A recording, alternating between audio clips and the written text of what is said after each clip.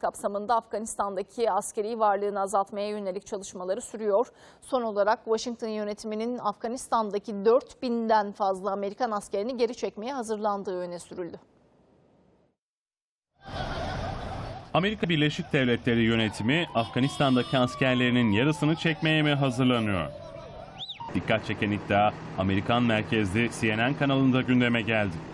Amerika Birleşik Devletleri Başkanı Donald Trump'ın Afganistan'dan 4000'den fazla asker çekme planını tamamlamak üzere olduğu iddia edildi. Amerika'nın Afganistan'da hali hazırda 8600 askeri bulunuyor.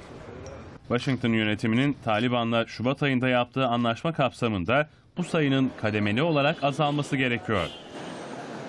İddiaya göre yakın zamanda bu sayının 4000'e inmesi için Trump yönetimi harekete geçmiş durumda.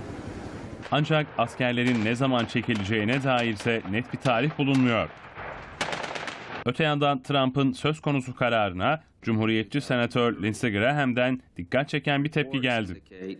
Graham, Afganistan'dan çekilme sürecinin öngörülemeyecek birçok koşula bağlı olduğunu iddia etti.